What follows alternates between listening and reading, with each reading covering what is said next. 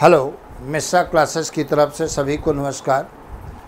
देखिए, जो भी नीट के स्टूडेंट हैं, सभी छात्रों का भविष्य दांव पर लगा है। तलवार लटक रही है। क्या होगा? नीट दोबारा होगा या नहीं होगा?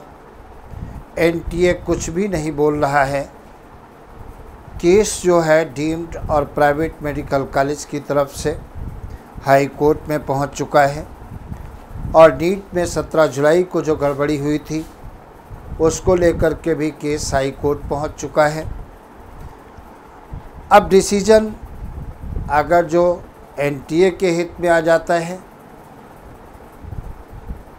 तब भी पार्टी सुप्रीम कोर्ट जाएगी और खिलाफ आता है, तब भी सुप्रीम कोर्ट जाएगी।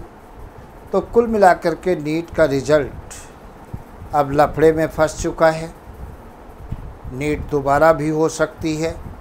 50-50 परसेंट चांसेस हैं, कुछ भी हो सकता है। इसलिए होशियारी इसी में है कि आप अपनी पढ़ाई ब्रेक ना करें कंटिन्यूस पढ़ाई करते रहें।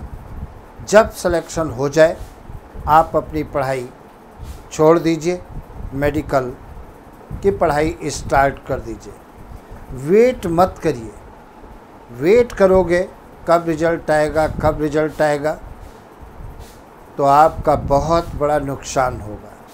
और नीट 2023 नीट के बच्चों के लिए स्वर्णिम काल होगा गोल्डन टाइम होगा, इसलिए नीट एग्ज़ाम छोड़ना मत। एक साल आपको और देना है और डॉक्टर बन करके ही निकलना है।